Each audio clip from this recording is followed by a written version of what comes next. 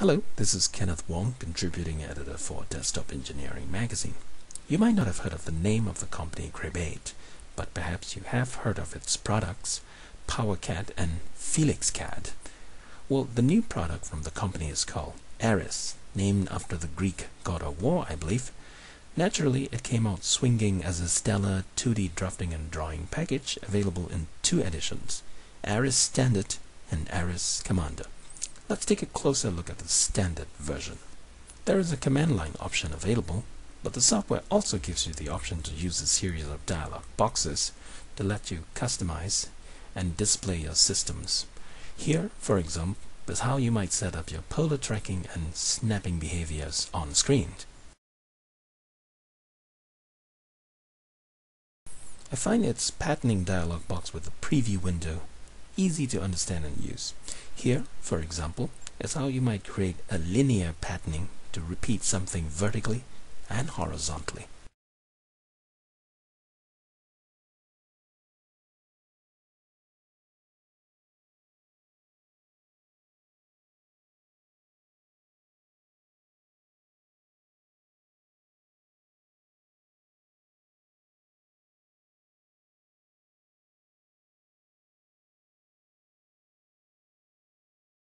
If you need to fill an object with color and gradient or hatches, this is how you do it.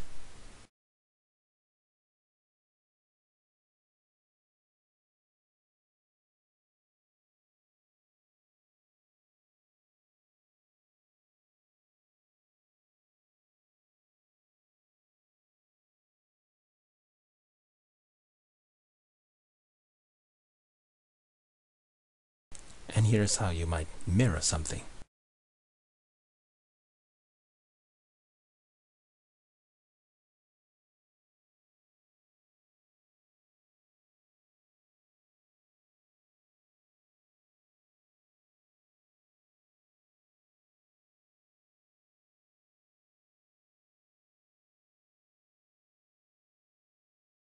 Along with the text insert option, as a note, you can also customize your text font size and adjust the text flowing area.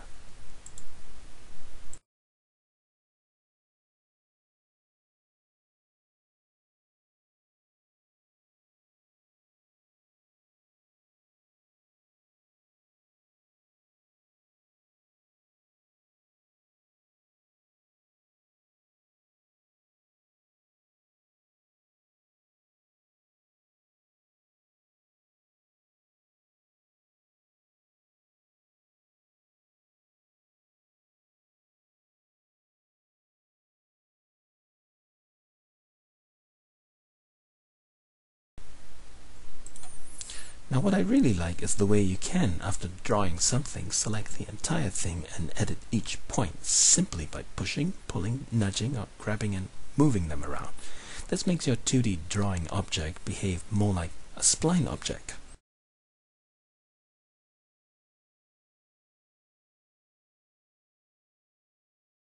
Now watch what happens to the dimension if I grab this point and reposition it elsewhere.